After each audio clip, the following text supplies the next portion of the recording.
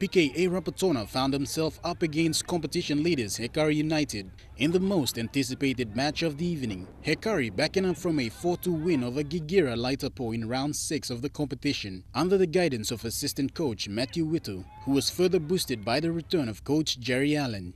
PKA Rapatona, on the other hand, fielded the same side that defeated Erema 3-1 last week and gave Hekari a tough challenge from start to finish. Hekari's Wira Wama scored in the 14-minute mark of the first half, giving Hekari an early lead.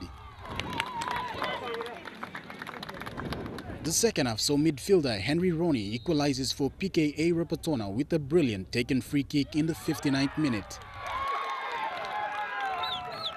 Rapatona held their backline defense, keeping Hekari fullback come striker Koriak Upaiga at bay, though at times coming so close to score.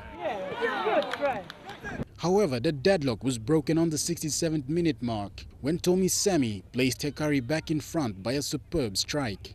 Hekari held on to the lead till full time, despite counterattacks from Rapatona.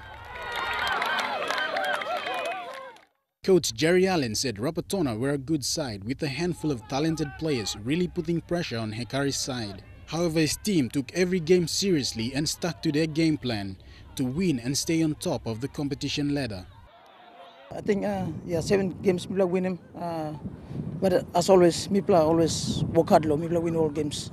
Nothing by come easy, especially in the second round. All teams by prepare hard, lo, play Mipla. But uh, the thing is, uh, Mipla try lo, maintaining form Mipla. At least Mipla win more games Mipla in order for Mipla stay on top.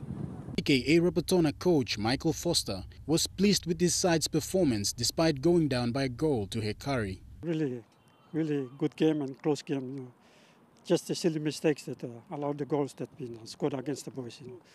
Otherwise, I think we would have uh, get the boys on top of the Hekari.